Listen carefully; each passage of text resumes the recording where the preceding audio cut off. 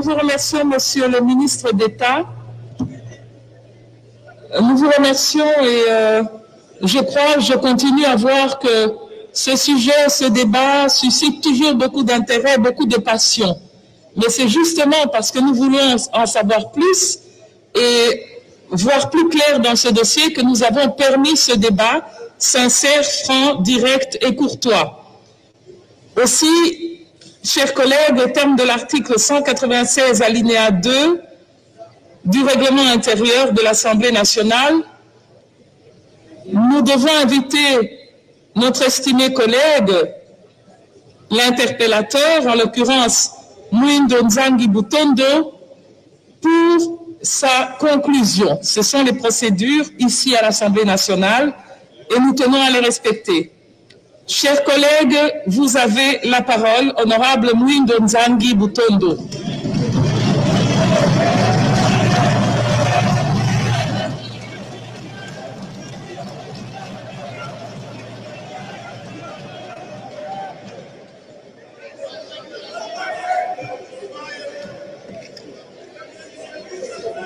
S'il vous plaît, collègues, nous avons dit que nous agissons dans un débat sincère et en toute courtoisie et sérénité. Laissez-le parler. Allez-y, honorable Nzangi. Honorable président de l'Assemblée nationale, distingué membre du bureau, honorable député très chers collègues, c'est un honneur pour moi d'avoir déplacé par mon initiative un débat si capital pour le pays. Je remercie donc le bureau et sa présidente qui aujourd'hui doit recevoir les félicitations de tous les Congolais pour avoir permis pour la première fois qu'on puisse débattre de manière sincère sur ce débat sur Minembe.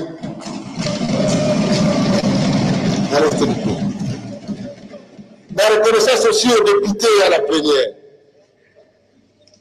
le jour de la recevabilité de cette interpellation, j'ai vu sur le visage des Congolais, unis pour dire, on doit savoir ce qui se passe. C'est de cette unité que le Congo a besoin pour se relever.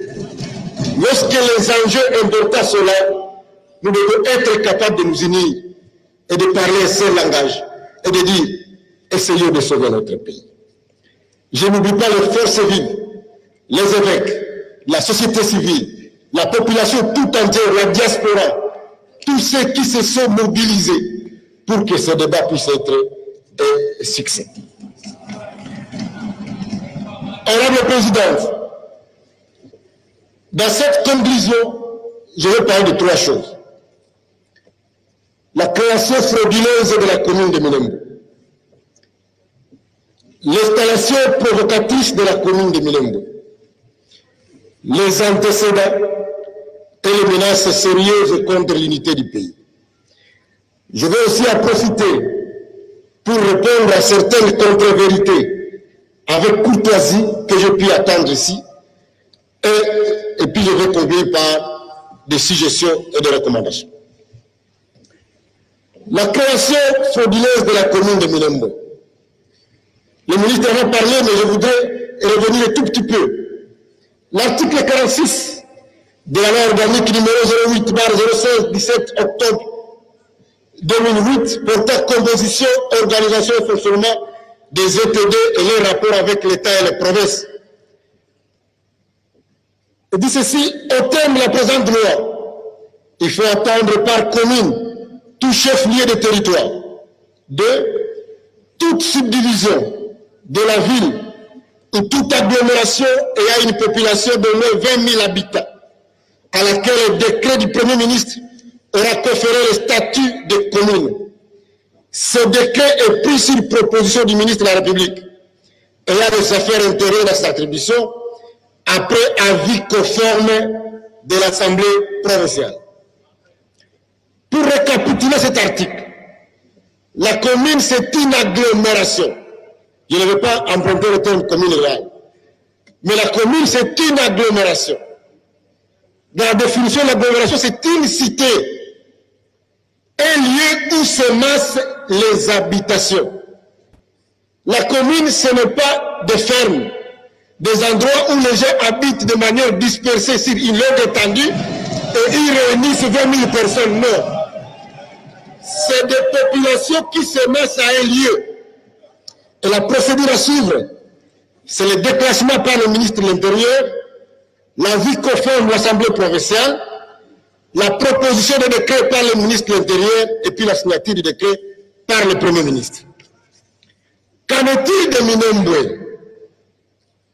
Pour ce qui concerne Minembwe, l'Assemblée provinciale du Sud Kivu, saisie par le ministre de l'Intérieur, avait constaté que cette dernière ne remplissait pas les conditions prévues par l'article 46 de la loi pour être érigée à commune.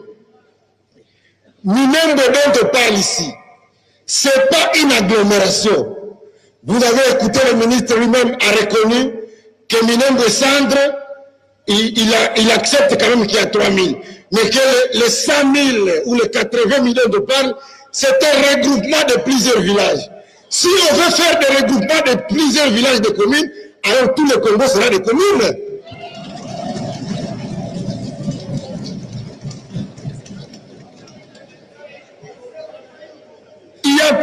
De vastes étendues de prairies avec des pasteurs dans un habitat dispersé, chacun à côté de ses vaches. Dans son intervention, le ministre a parlé, la première intervention, il a parlé de 10 km carrés avec 36 000 ou 37 000 arrêtés. 36 000, merci. Avec les estimations que les arrêtés ont tous plus de 18 ans et que les moins de 18 ans représentent au Congo 53% de la population, il voulait donc nous dire que Minembwe compte plus ou moins 80 000 habitants. Si nous mettons les 80 000 habitants sur les 10 km, ça veut dire pour le ministre Rubérois, c'est 8 000 habitants par kilomètre carré. Alors que la commune de la Gombe, la commune de la Gombe, c'est 3037 habitants au kilomètre carré serait les données de 2020. Est-ce que vous avez vu à Minembwe une agglomération de 8000 habitants par kilomètre carré? Et pour nous en rendre compte, j'ai personnellement envoyé quelqu'un au bureau de la zone de santé de Minembwe.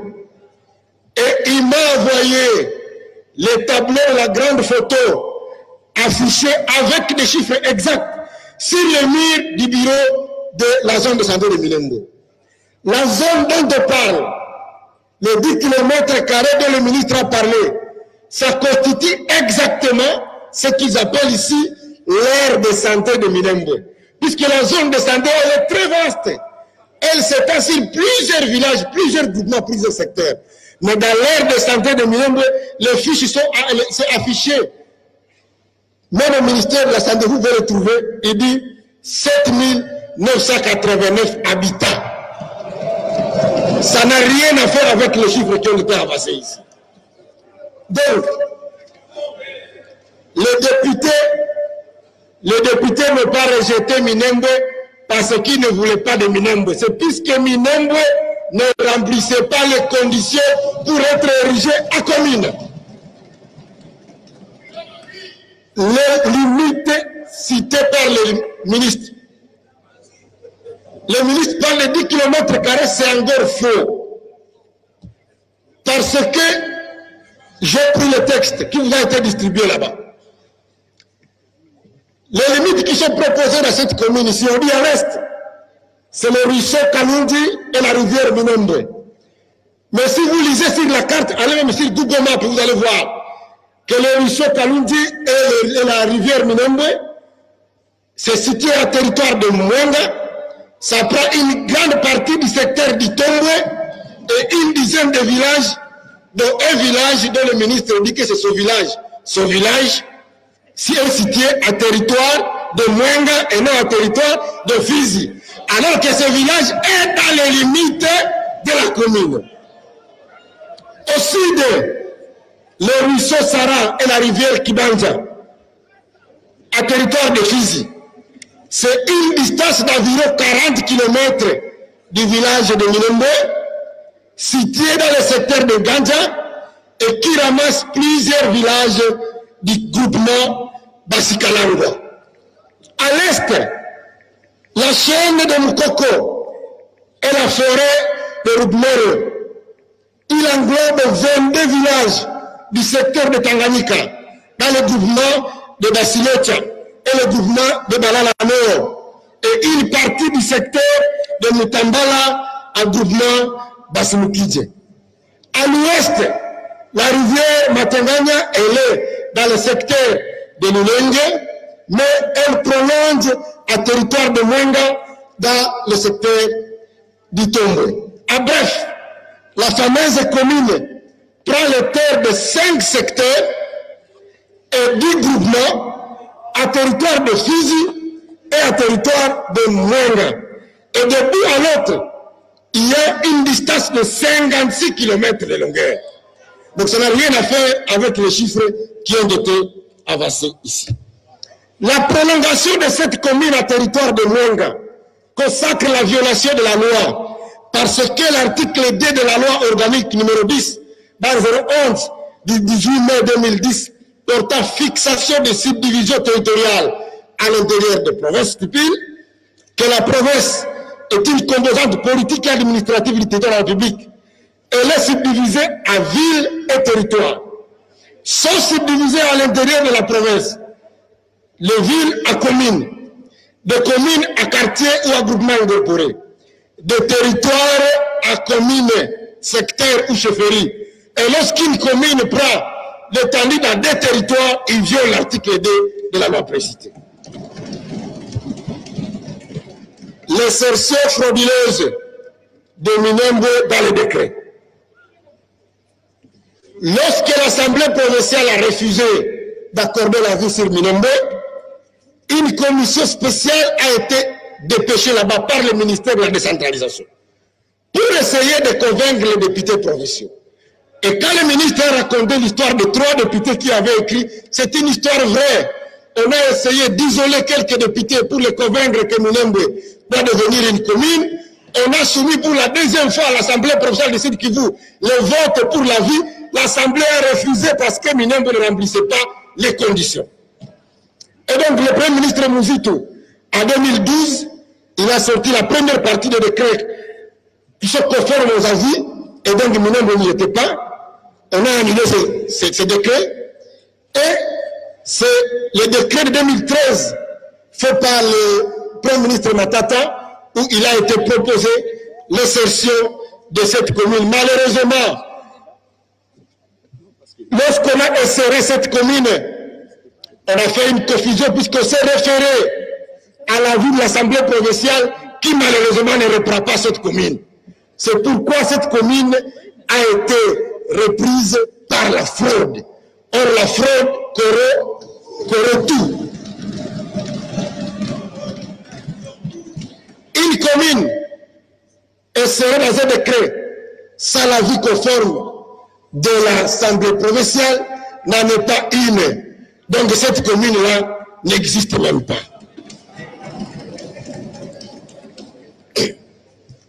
Alors, qu'est-ce qui s'est passé à la suite? Et c'est là qu'on veut démontrer ce qu'on appelle le conflit d'intérêts. En 2015, il y a eu le décret numéro 15 013 portant sur séance à l'exécution de certaines dispositions du décret précité. Et ce décret a confirmé seulement les chefs-lieux de nouvelles provinces comme ville, les chefs-lieux de territoire et les anciens de cités comme communes. Alors, le décret a souligné dans ce préambule la nécessité de corriger ce qui avait eu des erreurs. Mais le ministre, qui est devant nous, a préparé en 2018 un décret portant levé de la surséance de l'exécution de dispositions des décrets précités. Ce décret-là est signé par le Premier ministre Bruno Tibala, contre-signé par le ministre de l'Intérieur et le ministre de la centralisation Azarias Robert. Le même jour, le 30 mai, ils ont signé l'arrêté interministériel portant exécution du décret qui avait été signé le 30 mai. Encore une fois, ce décret, cet arrêté interministériel est signé par le ministre de cette époque Mova et par le ministre Azarias Roberto. Et à l'annexe de cet arrêté interministériel, ils ont ajouté la fameuse commune de Minembwe. De la désignation du bourgmestre. Le 28 novembre 2018, pendant que nous étions en campagne, le ministre de l'Intérieur a désigné le bourgmestre et le bourgmestre adjoint de la commune de Minembwe.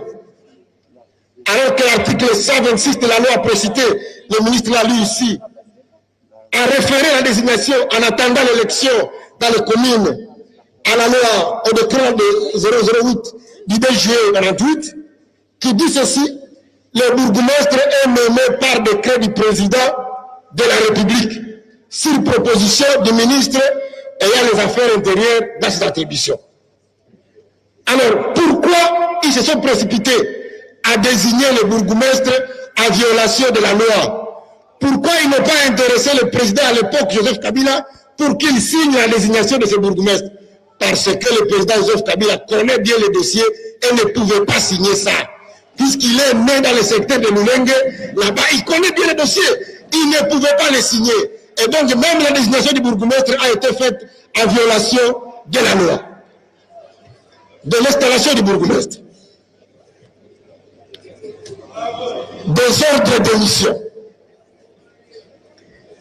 Des ordres de mission signés le même jour pour le même itinéraire, le même nombre de jours curieusement à des temps différents, parce que c'est deux ordres d'émission qui comportent des numéros qui se distancent.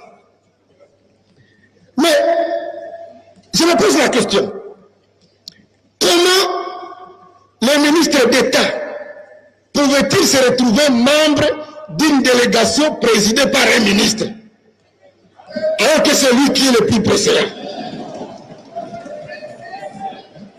Honorable Nzangi, vous revenez au débat alors. Vous revenez au débat là.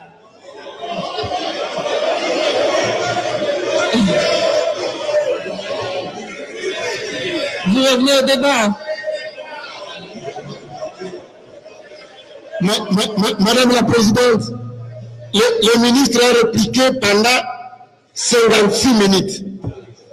Je crois que l'équité, c'est aussi que moi aussi j'ai le temps de parler. Je ne l'interdis pas, je ne l'interdis pas, honorable, excusez-moi. Je ne l'interdis pas, honorable Nzangi, mais j'ai l'impression qu'on confond conclusion et débat. Parce que non, c'est ma conclusion. D'accord. Du calme, du calme, du calme. J'essaie de comprendre son cheminement. Merci. Merci beaucoup, Madame la Présidente. Je vais tenir compte de la remarque. Allez-y. Le ministre d'État nous a dit que c'est au cours des conseils de ministres que la mission de Munembe était décidée. Or, jusque-là, à notre connaissance, tous les conseils de ministres sont présidés par le chef de l'État. Et dans son adresse au député à Goma, le chef de l'État avait bien dit qu'il n'était pas au courant de cette mission. Donc, de quel conseil de ministres parle-t-on? Troisièmement, le ministre a toujours chanté la bonne gouvernance. Et ce parti a comme slogan la bonne gouvernance. On le lui reconnaît. Mais comment comprendre que les deux ordres de mission qui ont été signés le même jour, avec le même itinéraire, se retrouvent avec deux bailleurs de fonds Un ordre de mission qui doit être payé par la Banque mondiale, et un autre ordre de mission qui doit être payé par le Trésor public. Je me demande, est-ce que les fonds induits qui ont été perçus ont été remboursés dans la caisse de l'État selon la procédure? Est-ce que l'installation du bourgmestre était effet du hasard, une coïncidence, ou c'était effet programmé? Voici, honorable présidente, ma conclusion sur cette question-là de l'installation du bourgmestre. Les membres de la délégation de la caravane de la paix ont été informés à l'aéroport de Kavumu par des militaires qu'au-delà de la mission de la paix, ils vont aussi installer un bourgmestre. Ils sont là, ils ne pas le contraire. Tout était préparé. La mobilisation était faite, non seulement à Minembwe, mais aussi à Kigali et dans les différentes diasporas. Aux États-Unis, au Canada, vous avez vu des t-shirts imprimés. Une chanson commune de Minembwe enregistrée à la gloire du victorieux, le ministre, et enregistrée dans un studio IP de Nairobi au Kenya. Ça ne ressemble pas à une coïncidence. Ça a été programmé du début à la fin. Le ministre est venu dire ici qu'il n'était pas au courant de cette planification de l'installation du ministre. Mais vous avez suivi avec moi le communiqué du ministre provincial de l'Intérieur, le vaillant ministre, qui avait tenté de protéger le ministre d'État à ce temps, il a été estomaqué lorsqu'il a vu le ministre parler du devant de cette chaire que c'est le ministre provincial par son initiative qui avait fait l'installation. Et il a écrit, il a même signé un document, je sais que vous l'avez lu, dans ce communiqué de presse, le ministre provincial de l'Intérieur dit ceci, que c'est le ministre d'État qui les a demandé d'installer les bourgmestres. Il dit que le gouverneur avait même refusé. Et c'est par insistance du ministre d'État qu'ils ont fini par obéir à l'ordre de la hiérarchie. Le texte là est signé. Et donc je me demande, pour quel intérêt le ministre était venu ici nous mentir en tant qu'Assemblée nationale? Ça s'apparente. En effet, la doctrine enseigne que le fait pour un responsable public de donner des réponses fausses ou incomplètes aux questions posées par des députés peut constituer un outrage au Parlement.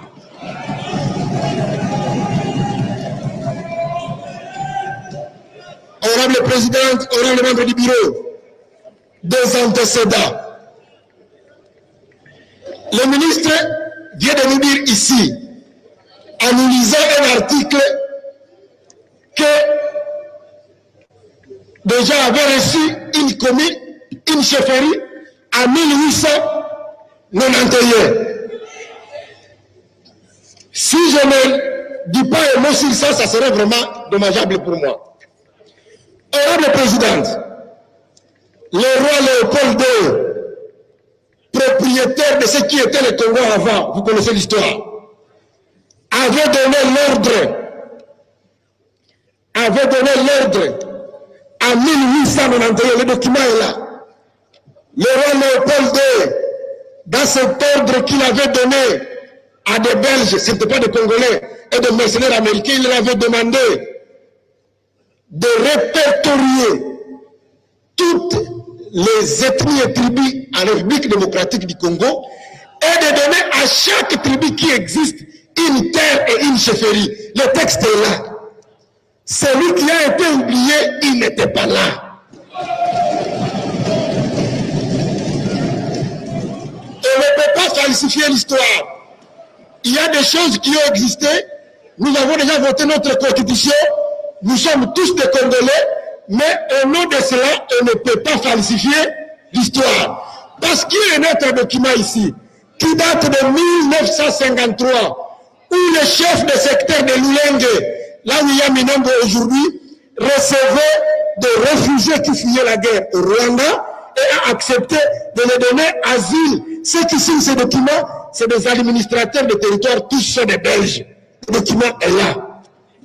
Donc, lorsque le ministre d'État le dit, que voilà, les Belges nous avaient donné euh, une chefferie qui nous avait été ravie, il veut donc insinuer que nous aussi nous voulons récupérer des terres qui nous avaient été ravies. Quelle va être la réaction des populations locales? Deuxième antécédent. Je ne parle pas du territoire de Minembe qui avait été créé, mais est-il que ce territoire-là, qui avait été créé par le RCD, avait créé des chefferies, des secteurs et des groupements qui avaient des chefs qui n'étaient pas les chefs légitimes. On a saucissonné des secteurs qui existent depuis 1800. Et on a créé de nouveaux secteurs dans lesquels on a mis à la tête des personnes qui n'ont pas de royauté. Tout ça, c'est des actes d'antécédents pour lesquels on doit tenir compte.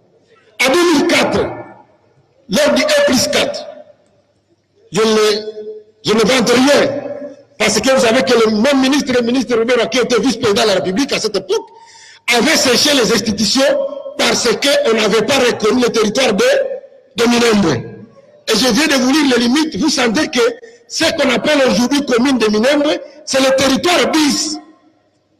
C'est pratiquement les limites épais aménisées, mais de ce qui était le territoire de Minembwe qui avait été rejeté par l'Assemblée de la population congolaise.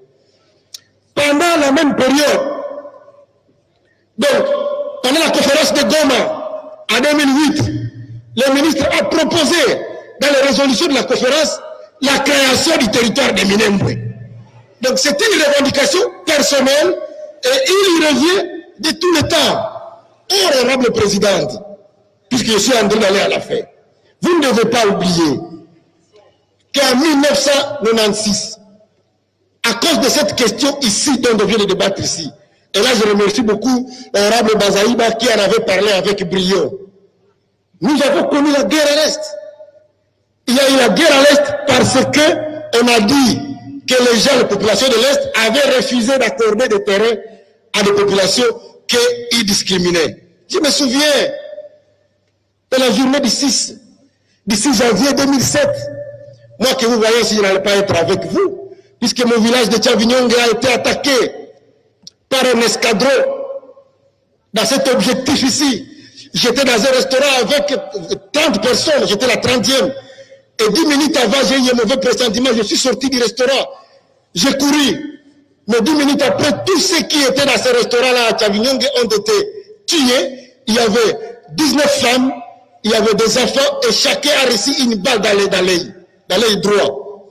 Les gens sont morts, des millions de personnes sont mortes à cause de cette question de revendication de terre. Moi, je croyais que c'est une question déjà dépassée, mais je, je ne comprends pas pourquoi on y revient encore, parce que le ministre d'État, il veut renier les couteaux dans la plaie. C'est l'état de faire la paix, on ne doit pas revenir sur ça. D'ailleurs, je crois que c'est le moment pour nous de dire, il n'y a pas de paix sans justice. Je soutiens le combat du docteur Mukwege de dire, le rapport mapping, on doit les réveiller pour que les gens qui ont commis des crimes puissent être sanctionnés. Peut-être qu'à partir de ce moment-là, on va devoir avoir la paix. Alors,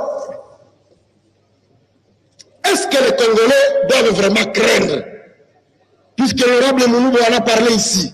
Il a dit, il n'y a rien. Vous ne devez pas avoir peur. Moi, je dis aux Congolais, faisons très attention. Ne soyons pas naïfs. Une situation se passe maintenant et au Karabakh, territoire azerbaïdjanais, habité majoritairement par les Arméniens qui demandent leur rattachement à l'Arménie avec le soutien d'une grande partie de la communauté internationale, ça doit nous interpeller parce que l'article 7, alinéa 5 de la constitution du Rwanda stipule que les Rwandais, leurs descendants, qui, entre le 1er novembre 1959 et le 31 décembre 1994, ont perdu la nationalité rwandaise suite à l'acquisition d'une autre nationalité étrangère, sont d'office réintégrés dans la nationalité rwandaise. Ça veut dire quoi? C'est quand même des pièges qui nous ont tendus pour vouloir nous dire que même ceux qui ont renoncé à la nationalité rwandaise, le fait qu'ils soient de vagues de mouvements de réfugiés de 59, ils sont rwandais même là où ils sont. L'exemple, nous en avons ici dans cette salle ici en 2008, l'honorable Dini Abakaran, qui était député avec nous, avait été arrêté et condamné au Rwanda une année. L'Assemblée nationale avait envoyé une délégation au Rwanda pour faire prévaloir son immunité parlementaire. Le Rwanda avait dit, Dunia, c'était citoyen rwandais, il n'a rien à faire avec le Parlement congolais.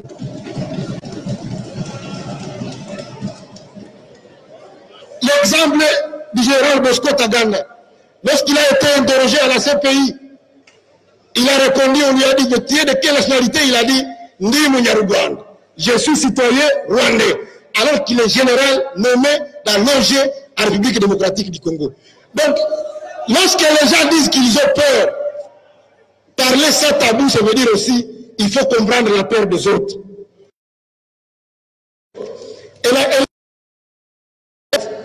la guerre qui. La station de Béni, c'est la même situation. Les gens les entités, mais au même moment, il y a des gens qui arrivent pour réoccuper les places qui ont été, qui ont été laissées. Je sais que vous êtes au courant de ça. Tout ça, c'est des signes nationaux. Demain, il ne faut pas que vous, que, que, que ça vous revienne qu'on a créé la commune de Boga ou la commune de Kainama. Je voudrais donc dire que c'est ici l'occasion pour les Congo tout entier de se réunir et de dire, pour mettre fin à la situation qui se passe à l'Est, cette question doit être sérieusement crevée. On ne doit pas accepter que, à la recherche de nouvelles terres, Sarkozy avait pris la parole ici et il vous l'a dit que la question de la démographie du Rwanda, on doit y trouver la solution à partir de la RDC. Ce n'est pas une utopie, nous devons continuer à veiller.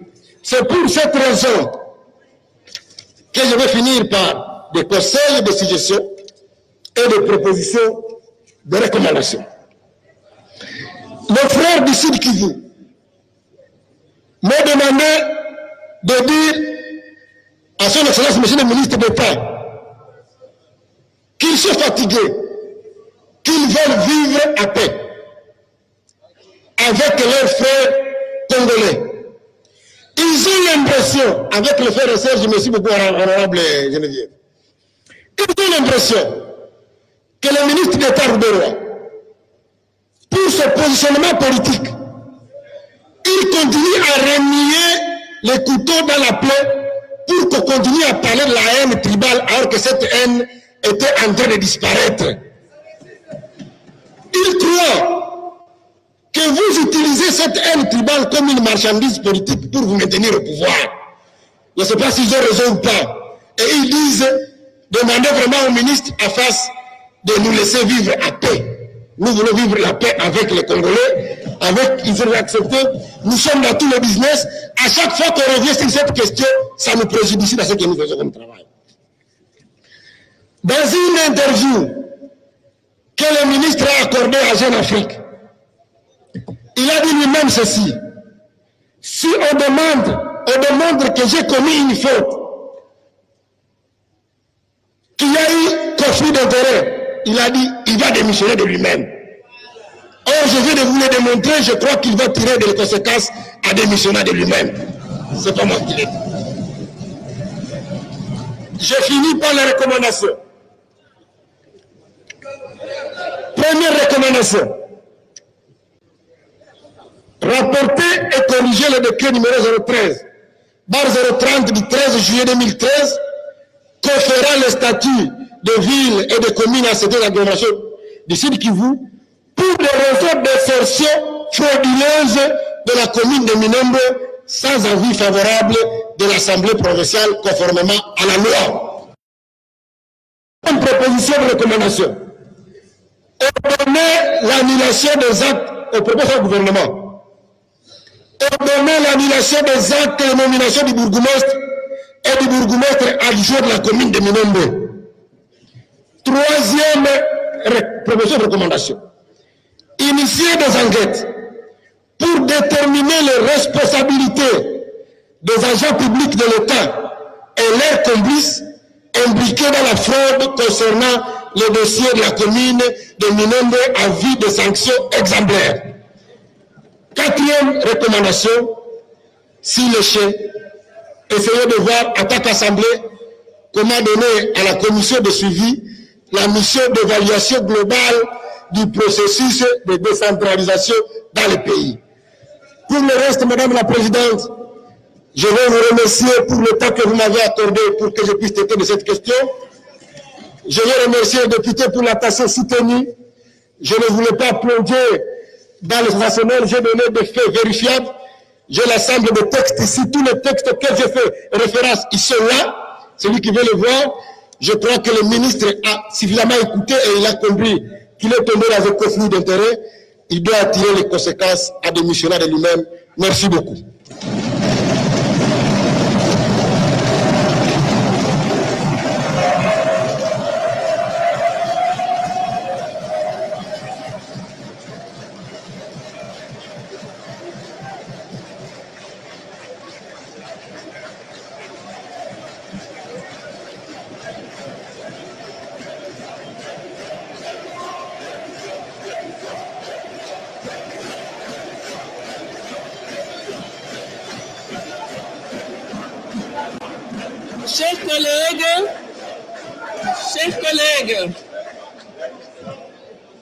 Je voudrais, je voudrais remercier, je voudrais remercier notre collègue,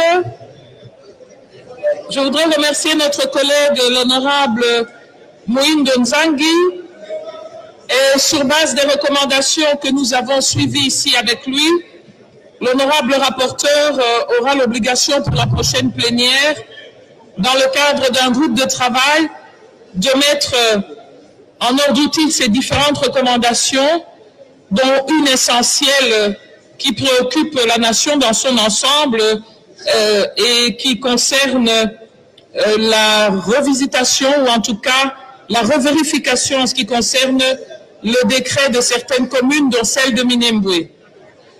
Alors, je tiens à remercier effectivement l'interpellateur, notre collègue Mouindo Nzangi, mais aussi tous les députés et tous ceux euh, au travers de la République qui se sont manifestés face à cette initiative qui relève du contrôle parlementaire et qui a permis d'éclairer donc euh, l'opinion, notre peuple, sur cette question qui a fait couler beaucoup d'encre. C'est aussi le lieu de saluer notre Assemblée nationale pour avoir abordé, comme l'a dit l'honorable Zangui, sans tabou, dans un débat qui a connu une certaine dose de passion, mais teinté de réalisme. Et c'est cette Assemblée nationale qui a abordé ce sujet délicat, qui touche donc d'abord à la cohésion nationale, à la peur de la perte de la terre et au patriotisme des Congolais, qui est solidement ancré et qui est à toute épreuve. Je peux donc reconnaître que dans ce débat, il n'y a ni opposition ni majorité, seuls des représentants du peuple à la recherche de la vérité et soudés autour de valeurs qui ont été évoquées souvent dans ce débat, la paix, rien que la paix, le rejet du tribalisme et de l'ethnicisme et l'attachement à l'intégrité territoriale. Aujourd'hui, c'était Minembwe. Demain, ce seront d'autres sujets, peut-être ceux qu'on a évoqués euh, sur la grève des enseignants ou le chômage des jeunes. Mais nous sommes conscients, comme Assemblée nationale, nous sommes, nous, les 500 élus légitimes du peuple mandatés pour cinq ans, conscients que nous sommes dans un contexte difficile, entaché par le Covid, mais qu'il nous faut et nous devons continuer à donner de l'espoir à nos populations par un meilleur contrôle parlementaire. Par un meilleur contrôle parlementaire, et donc on nous pose toujours la question, à quoi sert le contrôle parlementaire? Un exemple est donné aujourd'hui et je ne peux encore que vous remercier pour euh, le sérieux, la responsabilité, la retenue aussi et l'humanisme dont vous avez tous fait preuve, chacun de vos côtés, et je vous en remercie. Je pense que par cette euh, conclusion, nous pouvons clôturer le débat sur euh, du ministre d'État. Et donc, cela étant, les motions interviendront à la fin. Cela étant, cela étant,